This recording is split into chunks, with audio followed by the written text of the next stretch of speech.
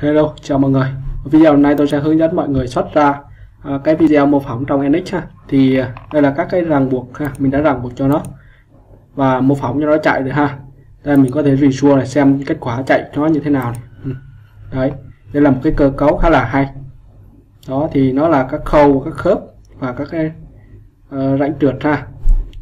Cơ cấu trượt thôi thì bây giờ muốn xuất ra video như thế nào thì mọi người để ý trong thẻ review nó có thể là export to movie này tích vào ha. Ok. Rồi sau đó mọi người uh, mọi người chọn đường dẫn ha. Chọn đường dẫn này. Dẫn sắp lên đầu này. Ha đặt tên cho nó này. ví dụ như mình uh, video này là video một thì chẳng hạn. Mình đặt tên ha. Ví dụ như mọi người đặt tên gì thì viết tên đó này. Sau đó mọi người để ý có cái thể là file to type này, ha. Cái này là định dạng của nó mặc định như vậy ha. Rồi sau đó tích ok. Thì nó sẽ mô phỏng một lần nữa và nó xuất ra video cho mọi người ha. Một cái cơ cấu khá là hay. Video sau mình sẽ hướng dẫn mọi người à, lắp các cái ràng buộc cho đó để nó có thể mô phỏng được ha. Đấy, đấy.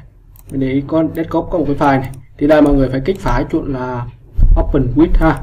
Phải chọn là một cái ứng dụng mới mở được ha. Ở đây mình sử dụng ứng dụng này mình mở lên.